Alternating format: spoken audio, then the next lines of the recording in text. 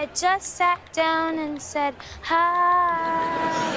Pat, if you're just gonna sit there and tweet stupid, pointless tweets, then please go sit somewhere else.